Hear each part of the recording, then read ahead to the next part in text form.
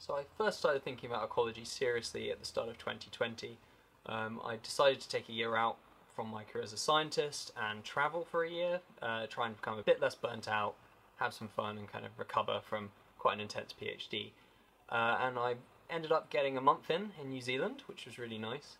And they had an amazing attitude to the wildlife there. They had a great sense of stewardship, and they there was a sense that kind of they were very engaged. The average New Zealander knew a lot about ecology and about the animals they had, the natives and the invasive species, and how to deal with those invasive species.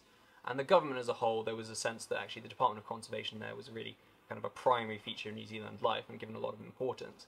And I started thinking actually I'd love to come back to England and kind of make England a bit more like New Zealand. And how do you do that? It would be kind of as an ecologist.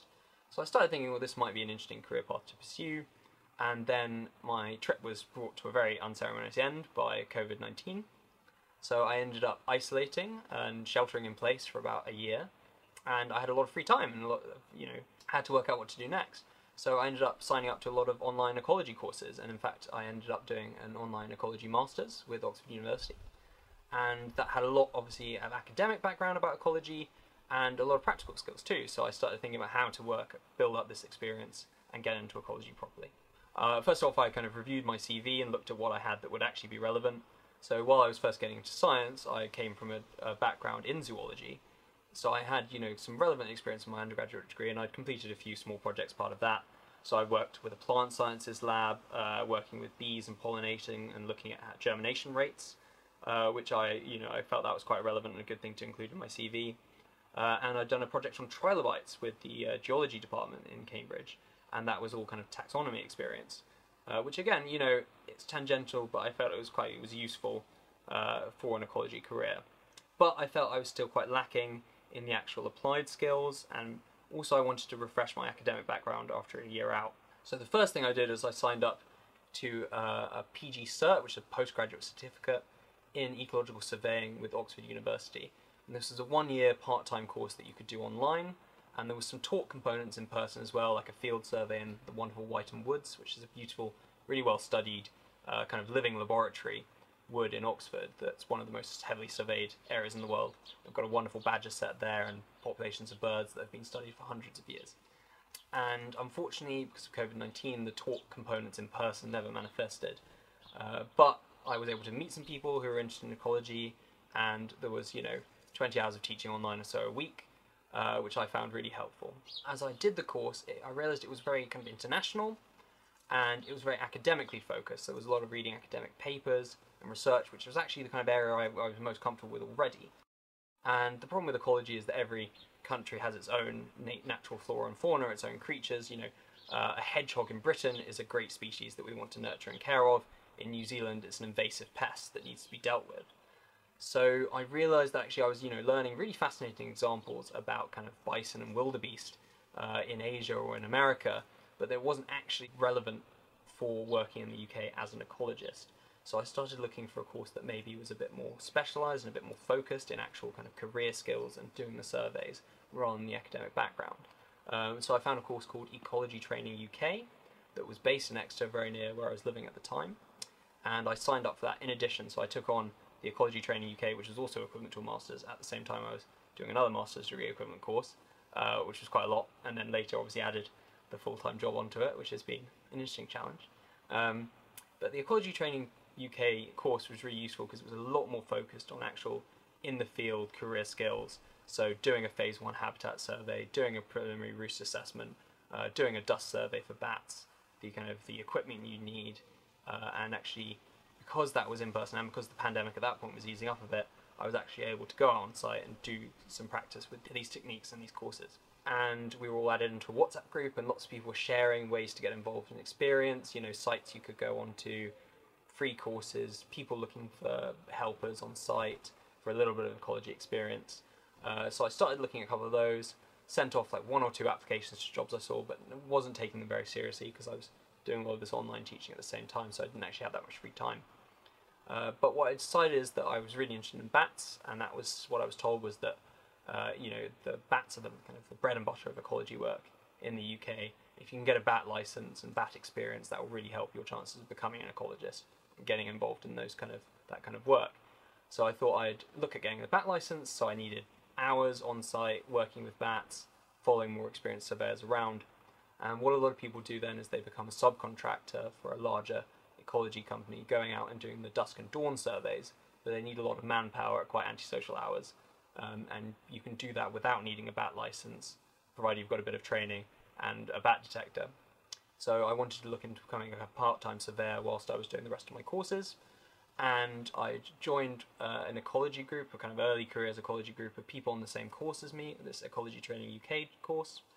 And often people were sharing job interviews or uh, applications and opportunities that they themselves had applied to or that they'd seen but they weren't in the right area for. And uh, one of my friends, Julia, had seen this ArbTech opportunity for subcontractors uh, and this would be a part-time job coming out and helping in the evenings and the dawn surveys for the bat surveys. At the time I was looking at doing more bat work and getting a bit more experience. And my assumption really is that I might do that for a season, so for the summer survey season uh, this year, in order to get a year of experience as a part-timer subcontractor before I then tried to become a junior ecologist or a junior surveyor uh, in a more serious job. So this looked perfect for me, the level of experience I had, so I put together my CV and a covering letter and sent it off to ArbTech. And at that point I didn't really have my hopes very high because I'd sent off one or two applications before that and I'd talked to other people in the similar positions and it really seemed to be, you know, you send out 100 applications and you get one or two back.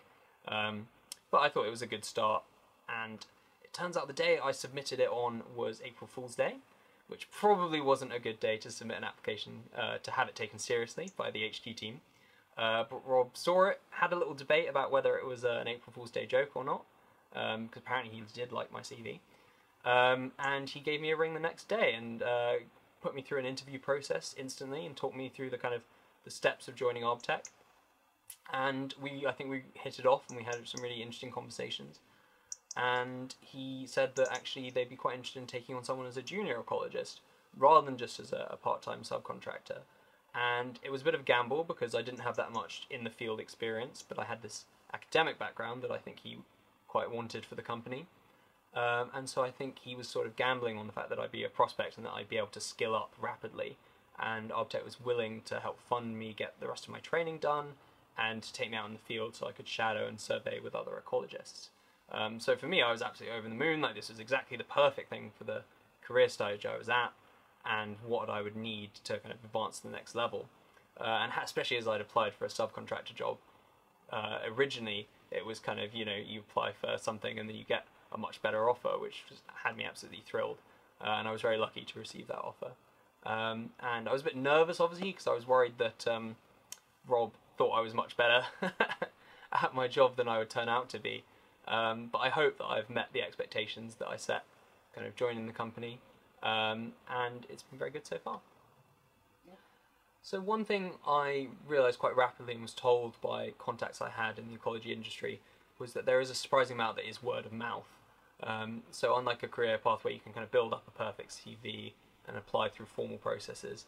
There seems to be quite a lot of kind of word of mouth and reputational stakes in ecology, partially because it's quite such a small field, really, um, and because it's a passion field. So a lot of people who are interested in ecology and are doing a lot of the, the kind of maintenance projects are volunteers. They're people who really love bats and they're doing, you know, they're joining their local bat group or they love their local wildlife park, so they're working there.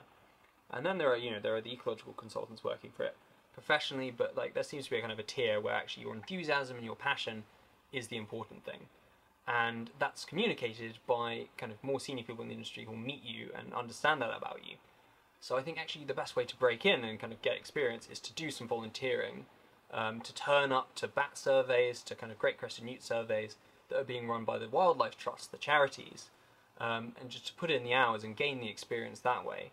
Um, and once you've been able to do that, people will see that you actually have the passion, that you have the knowledge, and then when they are looking for actual jobs in the industry, you'll have a much better chance of getting in there.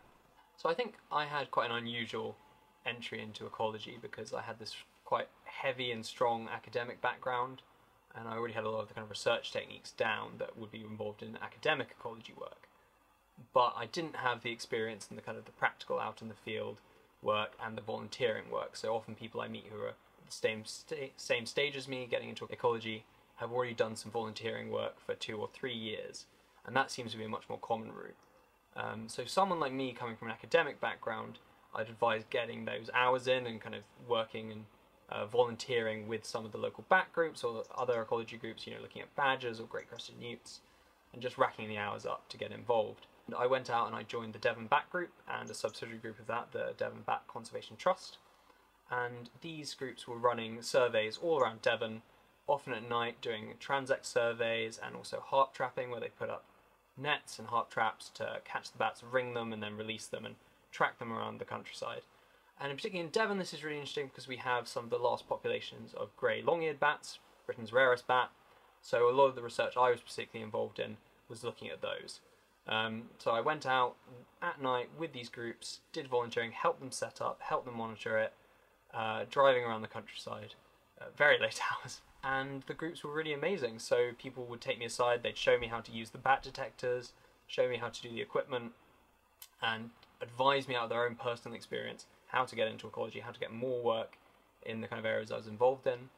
And they were amazing at just um, showing me the crucial first steps, so it was a really good experience. But then someone who was coming with a less academic background, I'd recommend doing one of the courses that I've done, so like an ecology surveying course with Oxford University, or I found Ecology Training UK has been really good at kind of getting those practical skills and the academic background that you need in some quite easy to do online courses and, and taught components.